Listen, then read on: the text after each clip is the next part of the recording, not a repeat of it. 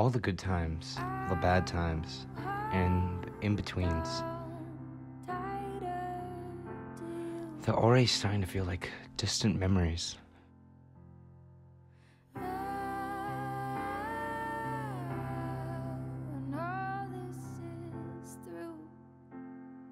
I don't really know how to describe it.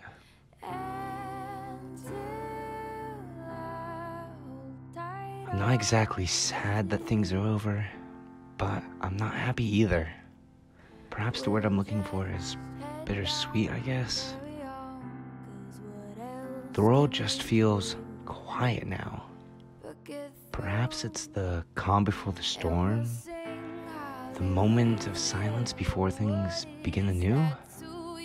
But no matter what changes, I'll always have this. Let's talk in a